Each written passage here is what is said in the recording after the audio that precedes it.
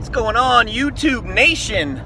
All right, Outlaw V2. Um, today I kind of want to change it up, man. I'm trying to do more content on my channel, as I've been saying in the last couple weeks. Um, finally over this sickness. I'm good to go. Uh, it's Wednesday, February 13th. Happy Valentine's Day to everybody that's going to be hanging out with their chicks tomorrow or their dudes. If you watch my channel and you're a chick, or if you're gay and you just like gear, whatever, whatever you do, man, I'm cool with it. Uh, okay, I digress. Um, one of the things I want to talk to you talk to you about today is the physi actually not the physiological, the psychological effects of gear. Because I don't think there's enough uh, YouTube channels that talk about it. There's a couple of guys overseas that run some YouTube channels that like kind of briefly discuss it, but they're I don't know, they're they're uh, a little bit vague on some of the stuff that they're talking about. So some of the things I want to talk about is in the last four years. I mean, I, I started when I was 40 years old. You see my other videos. So I've been doing this around around four years, maybe four and a half years, because I think I started a little bit before I was 40, and I'm 44 now. So um, I got a little experience with it, and I've done it in a couple different ways. When I started out, I I didn't get uh, I didn't get the proper instruction about like using AIs like anastrozole and arimidex and uh, letrozole, like the different types of um, estrogen blockers and aromatase inhibitors that you can run. So at first, I just started running testosterone. Uh, I think I ran a cycle of cyclotren. I mean, I wasn't worried about prolactin. I wasn't worried about shit. All I cared about is that my dick worked and I had good sex drive and I was strong. That's all I gave a fuck about. Everything else was like secondary. So, all right, so I won't talk about the estrogen, like the estrogen effects physical. We all know like gyno. I got gyno. Like it's it's. I don't have gyno now, um, but I started to get gyno. I started to get gyno. I started to get lumps under my, you know, underneath my nipples. The shit fucking hurts. Like when you have gyno, you know it ain't it ain't no secret. Um, so I don't I want to keep this video short, so I don't want to really, you know, like start into a real big long story.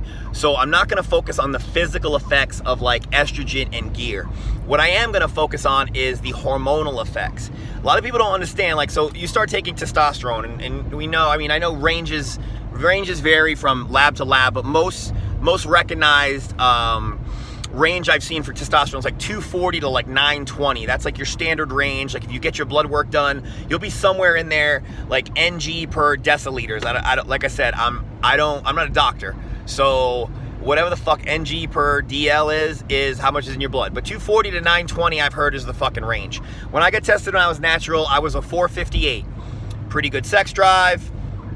I you know I my dick worked. Um, everything's good, but so you start supplementing with exogenous testosterone. So your natural testosterone production during that time is going to go to zero.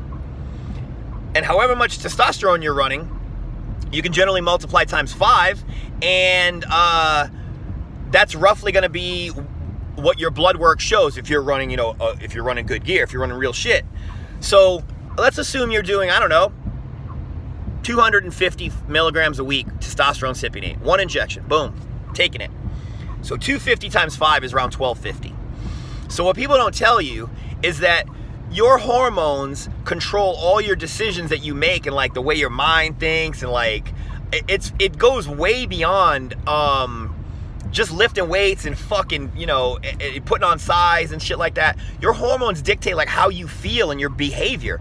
Like any guys out there, if you ever live with a girl, when she goes on her period, what happens? Her estrogen goes crazy, her hormones go crazy. That's why she's a bitch. Um, that's why she cries about stuff. You know, like I'm fat and this and this and that because your behavior changes. So listen, fellas, don't think that you can take your testosterone to 1250 and you've been you've been walking around at 400 and think you're not going to have some psychological effects. There's a couple of things that happen. Your sex drive is is usually nine times out of I've heard of guys go on tests like, yeah, I don't have any effect on my sex drive. I'm like, you're not taking a real tests because that it governs that shit. Like if it ain't fucking increasing your sex drive, then maybe you should check your supplier. But this can get guys in trouble that are in that are in uh, committed relationships. Because guess what, guys? At a 1250 testosterone rating, pussy is gonna sound like oxygen. Like you're gonna need, I need vagina to breathe. That's just the way it's gonna be. Um, now, not running an AI. I didn't run an AI when I was first doing testosterone. And at first I was fine because either either the high high testosterone and the high estrogen, I don't know what my estrogen climbed to, but I had gyno, so it had to be in the in the critical, you know, upper lip control limits. I wasn't, you know, I wasn't blocking it. Um, well, when my estrogen went crazy, my sleep, I, I lost sleep quality. Having high estrogen is not fun. It fucking sucks. Like I was emotional as fuck. My sleep went away. Um, I was crying all the time. I was hormonal. And I'll tell you a real story. I'm in a commit, well, I'm in an open relationship, which, yeah, and it's two-way open relationship. My girl can talk to other, she can talk to guys, and I can talk to other females. Um, well, there's a problem with that because when your testosterone is climbing into a, a, the fucking red zone, which is good for bodybuilders, but it isn't good for wanting for wanting sex. Okay, so since I have an outlet because I'm in a committed relationship, I have rules. Um, the psychological effects for me was I didn't fucking care. Like I have to fucking breathe, and and sex was a part of that. So you got to understand that that like testosterone doesn't just you know you guys that are married and shit like that, and guys that are out there running gear and boyfriends and thinking, yeah, I'm due to cycle, I'll be fucking fine, telling your old ladies, yeah, don't worry. Suddenly you're jerking off like four times a night. You're waking up at 3 a.m. so you can fucking rub one out.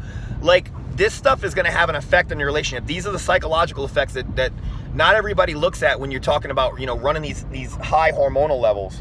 Um, estrogen, like I said, I usually relate that. Sorry, I got something in my eye.